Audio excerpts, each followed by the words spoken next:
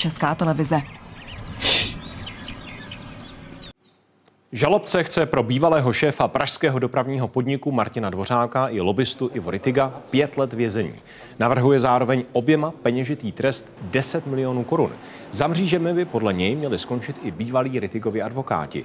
Bez trestu by měl naopak podle státního zástupce odejít spolupracující obviněný Jaroslav Kubiska. Právě o jeho výpovědi se obžaloba opírá. Dnes žalobce zmínil i další důkazy.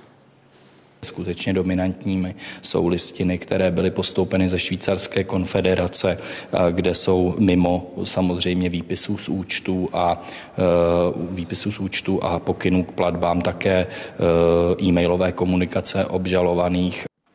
Obžalovaní se podle státního zástupce podíleli na rozsáhlém tunelování dopravního podniku. Firma kvůli spronevěře zjednávání výhod při zadávání zakázek a kvůli praní špinavých peněz přišla podle policie nejméně o 457 milionů korun. Stíhaní, kromě Kubisky, vinu odmítají. Já nevím, co bych tomu teďka řekl. No. To je taková přehlídka marnosti, že to, to se snad ani nedá jako komentovat.